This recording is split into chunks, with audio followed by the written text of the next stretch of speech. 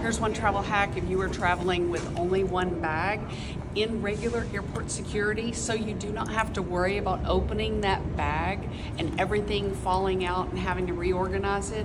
Attach your liquids bag to the strap of your backpack or your under the seat suitcase just for security. And that way you can unhook it easily.